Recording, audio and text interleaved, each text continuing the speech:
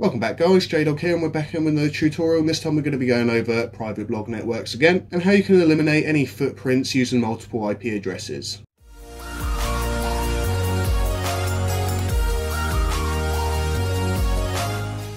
So before we get into it, let me just explain a bit more about what a footprint is. If you're not aware what I'm talking about, it's basically like a breadcrumb. It's like a trace um, of you that you've left yourself, um, pointing to the search engines that you are one entity running this private blog network. For example, if you've got quite a few blogs and they're all registered with the same email, they have the same IPs, the same name servers, they're hosted with the same company, search engines are just going to be able to determine very quickly that you are running a PBN and all of your sites are just pointing towards each other trying to build domain authority. This, of course, is a problem, and they then can shut your PBN down or mark it as a PBN. They've got quite clever algorithms which will find it out um, if you haven't been careful and you've been leaving footprints behind. This will then render the domain pretty useless, and you're not going to be able to carry on sending backlinks out of it because they're not going to hold uh, any domain authority, they're not going to pass down any SEO juice um, and really help your money site. So, for this reason, here at SeekaHost, we do have unique IP blog hosting. Um, by this, I mean that each one of your IPs, for instance, this domain has a different IP than this domain domain.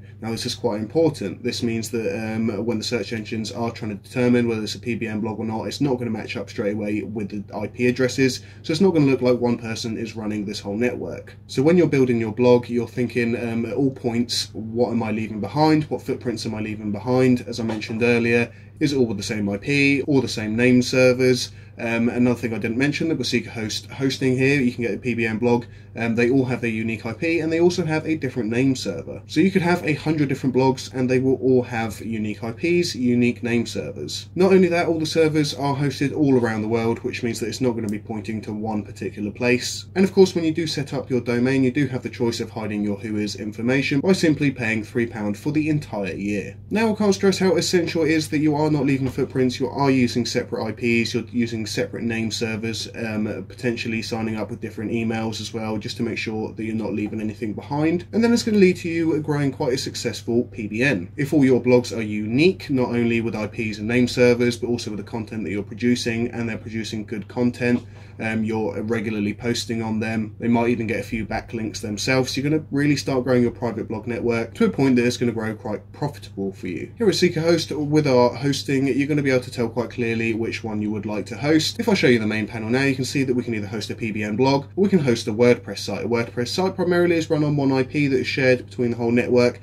With a PBN blog, you're going to get an absolutely unique IP and a different name server depending on what the domain name is. So you can run many sites here without leaving a footprint behind because they're all going to look completely unique. So those being the main footprints that you can leave behind, let's just go over some of the smaller ones as well. On all of your sites, you don't want to be using the exact same plugins. You want to change up your themes. You want to change up how your site actually looks. Because if anybody does, or it does uh, pop up as a PBN on the algorithm, if somebody does come to check your site, you need to make sure that it looks authentic, it's actually getting some organic traffic coming to it, and it's a proper website website. I mean, to be honest, if you're running it like that, um, it makes sense that you're going to be running a proper website with uh, proper blogs. But you want good relative posts pointing with good backlinks, so you want the actual site to be scoring well. There's absolutely no reason you might not add AdSense to it, get your analytics, make it an affiliate site or have some affiliate links. And by doing this, you're going to be earning some money back towards your hosting prices and of course your domain names. If you are looking to start a PBN blog, I'll leave the link in the description. You can just head down there, head on over to SeekaHost, check out the packages. You can also um, create an account for free and just look at our dashboard dashboard,